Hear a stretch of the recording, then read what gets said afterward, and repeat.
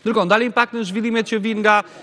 policia e shtetit, sërish ka pasur nga agjencia e mbikëqyrjes policore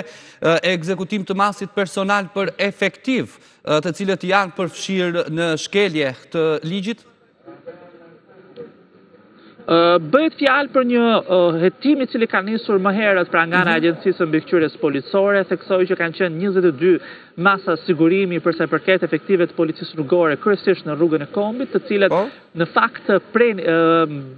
konstatonin pra automjete me targa të huaja dhe në një farë mënyre i gjobisnin. Ligji shqiptar, të paktën kodi rrugor ka të parashikuar që automjetet me targa të huaja mund të paguajnë pra gjobën aty për aty në moment për t'ua dhënë edhe vetë efektivëve të policisë që këta të fundit më pas ta arkëtojnë dhe të plotësojnë të gjitha procesverbalet. Megjithatë, nga hetimi që ka vijuar për disa muaj, është zbuluar që këta efektivë policie jo vetëm që nuk e kanë bërë një gjë të tillë, pra, por paratë i kanë futur në xhep duke sjellë një dëm të konsiderueshëm rreth 20 milionë lekë të vjetra në mos gaboj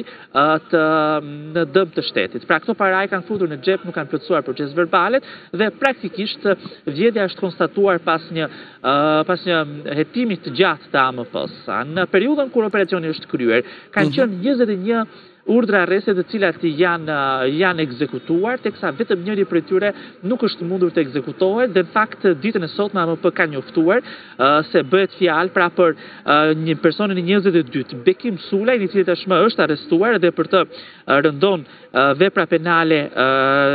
ndjesë një moment vepra penale e vjedhjes duke shpërdoruar detyrën sigurisht që ka qenë pra në mesin e personave më herët mhm. të të cilët e kanë kryer pra veprimtarinë e konstatimit të mjeteve me targa të huaja pra pikërisht ka qenë një skemë pothuajse krejtësisht naive e kemi përmendur edhe më herët në lidhjet tona të drejtpërdrejta pasi merreshin paratë, futeshin në xhep, nuk plotësoheshin pra të dhënat për t'u hedhur në në sistemet e-gjoba të policisë dhe praktikisht është vënë është kuptuar nga ana e policisë shqiptare pasi rikthimi pra kryesisht i makinave nga Kosova duke vozitur apo duke lëvizur në në vendin tonë edhe për herë të tjera, njëri prej këtyre shoferëve që ishte gjobitur kishte paguar pra gjobën në drejtim të, të policisë, ishte